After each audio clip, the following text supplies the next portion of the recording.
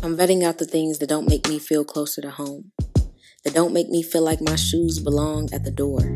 And I remember that every time I step foot into a kitchen, the fridge holds my dreams and I have a palette to be explored. Books tell it all, but it's the food we remember, the taste that we relate to things we know we never tasted. And you remember the first time you attempted to make it and the recipe didn't take. And you learned that God had specifically placed it in the hands of women above you to cultivate and hold on to it until it was your time. I thought I had the steps to recreate that kitchen. But if I mixed up all the dry ingredients and everything would start to look like a mixture of all the kitchens I've cooked in. But if I mixed the milk in, then everything would bind and become permanent. But if I added the yeast, it would rise enough for me to add my own kitchen to the mix. I beat the eggs. I whipped them until the bubbles took over the bowl and they appeared more white than yellow. I thought if I added the butter, the oil, and the flour, that everything would manage to come together and it would be final, but it became dough.